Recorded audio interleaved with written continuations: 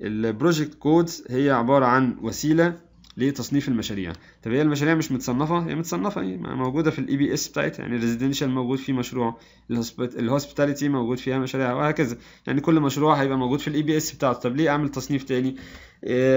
أحيانا إن أنا ببقى عايز إن أنا أصنف المشاريع بأكتر من طريقة. فالشكل اللي موجود قدامي ده شكل هرمي خاص بال EPS لا أنا محتاج أكتر من طريقة أصنف بيها. إزاي؟ أنا محتاج مثلا المشاريع طبقا لل area إيه اللي موجود مثلا في إيه اللي موجود في القاهرة؟ إيه اللي موجود في اسكندرية؟ إيه اللي موجود في دمياط؟ إيه اللي موجود في كفر الشيخ؟ وهكذا مثلا. محتاج إن أنا أصنفها بالمحافظة.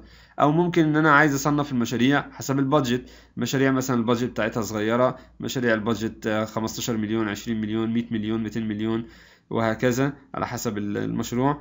أو إن أنا عايز أصنف بمعيار تاني زي مثلا نوع المشروع. بس يعني النوع ده موجود تقريبا في ال EPS فممكن يبقى عندي أكتر من وسيلة إن أنا أصنف بيها المشاريع. طيب يبقى أنا محتاج حاجة تانية غير ال EPS تساعدني في التصنيف إن أنا أكود بطريقة تانية. فاللي هيساعدني هو موضوع ال project codes عشان نتعلم موضوع ال project codes محتاج إن يبقى فيه أكتر من مشروع فخليني هنشئ كذا مشروع كده.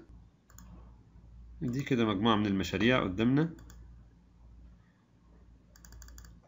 مثلا ال private sector في ال Sun Flower Villa اللي كانت موجود وبعد كده Lake Compound و Dream Tower في ال Ministry of Health في Alex Hospital Medical City في ال Ministry of Education تريمزيل School Faculty of Arts في ال infrastructure projects في عمرية Bridge نصر City Potable Water Pipeline دميتا sewage treatment plant وهكذا. عايز أبدأ دلوقتي إن أنا أصنف المشاريع دي. هي متصنفة ومترتبة already طبقا لل EPS بس أنا عايز أعمل أكتر من coding system ينفعني إن أنا أرتب بيه بعد كده.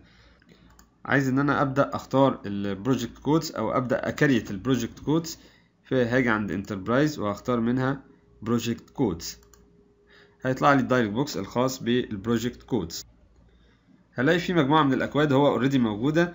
يعني لو نبص كده عليها هو عامل business process accounting construction billing customer relationship management financing order management وهكذا.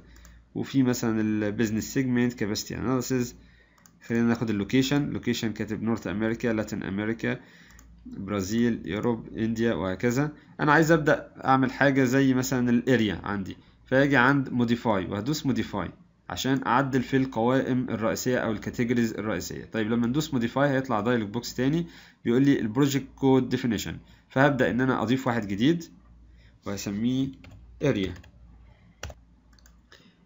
هعمل close وهرجع تاني هنا.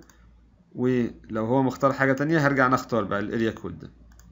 ال area code هلاقي إن هو ال coding system ده أو ال project code فاضي. مفيش أي عناصر موجودة. هبدأ إن أنا أضيف أول عنصر.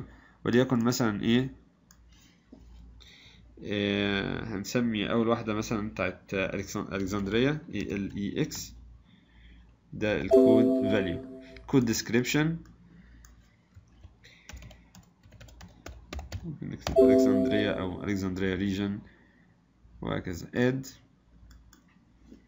CR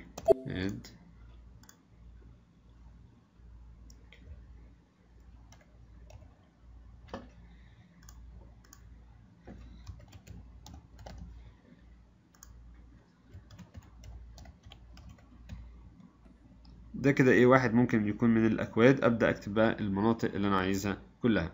ممكن أكتب أعمل كود تاني برضو على حسب أحجام المشروع فممكن أسميه project size.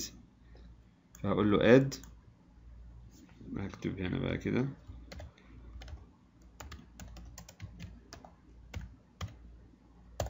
واقول له close. وأبدأ أزود في ال project size نخليهم ثلاث أنواع مثلا. small و medium و large مثلا.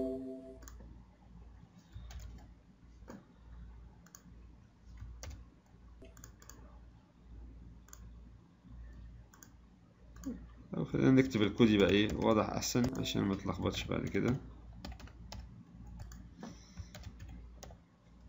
وهيجي هنا في ال description مثلا أقول دي small projects mixing budget less than ممكن نكتب إيه 10 millions وهنا هنيجي على medium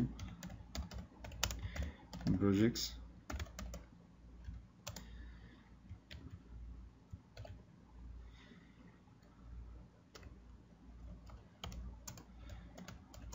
10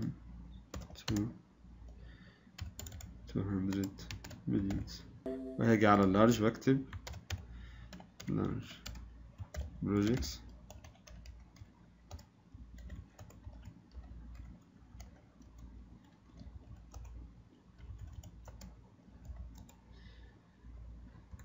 200 مليون أو greater than 200 مليون خلاص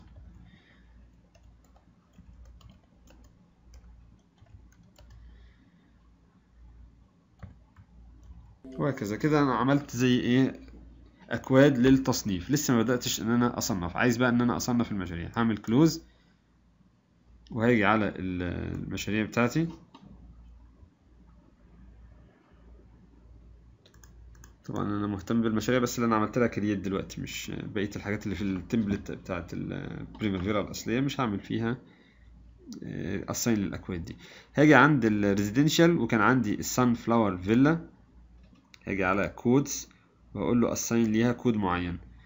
فيجيب لي شجره شجرة الأكواد بتاعتي أو ال dictionary بتاع ال codes وهاجي عند ال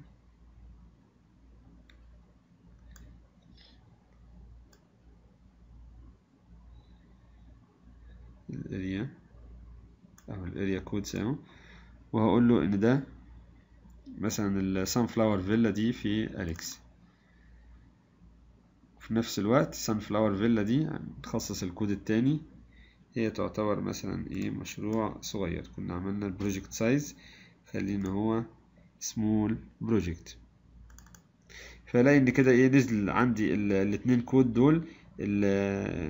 ال area code بتاعت ال Sunflower Villa هي Alex وال project size بتاعها هو سمول عايز بعد كده أخصص ليه ال Lake Compound طبعا مش محتاج إن أنا أقفل ال window أنا هفضل فاتح نفس ال window دي وأختار وأبدل وهكذا. أدي ال Lake Compound ده compound هنقول مثلا إن هو موجود في Cairo وهقول إن هو large project وهاجي على Dream Tower وأقول إن هو medium project وموجود في دميتا أو في دمياط طيب بالنسبة ل Alex Hospital المستشفى هنقول إن المستشفى دي small project وطالما أليكس خليها في Alexandria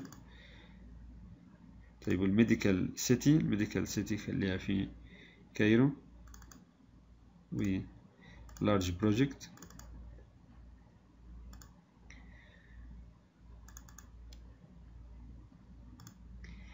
طالب زيادة school Ministry of Education. خلي ده مثلا في Damietta و small project ال faculty هتبقى medium project موجودة برضو في Damietta وعندي مشاريع infrastructure. عمرية bridge medium project. موجود في اسكندرية. Nasr City potable water pipeline medium project موجود في Cairo Damietta sewage treatment plant خليها medium برضو وفي Damietta خلينا في Nasr City potable water pipeline ماشي medium ودي medium medium okay مفيش مشاكل طيب كده إحنا عملنا assign لل codes يبقى اول حاجة عملنا ال dictionary بتاع ال codes وبعد كده عملنا assign لل codes طيب الخطوة الجاية إن أنا بعد ما عملت dictionary لل codes وعملت assign لل codes ديت على مشاريع إن أنا أبدأ أرتب المشاريع طبقا لل codes ديت. يعني الأمر sort هناخده وهنتعرف عليه بالترتيب أو بالتفصيل أمر group and sort بس خلينا دلوقتي هندوس group and sort by وهلاقي area code ادوس له okay كده هلاقي بيقول لي إن في عندك مشاريع كانت Alexandria ال code بتاع Alexandria وفي القاهرة. و Damietta و no area code اللي هي المشاريع الباقية اللي أنا كانت جاية مع البرنامج وأنا ما عملتش assign ليها قبل كده. فدي هيحجزها في جزء لوحده أو category لوحدها. طيب ممكن إن أنا أرتب بال project size اللي أنا دخلته من شوية. كان عندي small وكان عندي small و medium و large وفي no project size ممكن إن أنا أعمل أكتر من level للترتيب يعني في ال customize بتاع ال group and sort وده هناخده بعد كده بالتفصيل زي ما قلنا. وهنختار على سبيل المثال مثلا ممكن نختار ال area الأول. وخلينا في الاثنين اللي إحنا عملنا لهم creation ثم بعديها كنا قلنا ال project code أو ال project size فيه هيرتب الحاجات طبقا لل area الأول وبعد كده طبقا لل project size واقول له okay انه رتبها لي اسكندرية جواها small و medium ال small كان ده وده وال medium كان ده. بعد كده Cairo كان جواها واحد medium واتنين large بعد كده Damietta كان جواها واحد small وتلاتة medium ويجي بعديها إيه؟ بقية المشاريع كلها لأن هي مش واخدة نفس الأكواد ديت.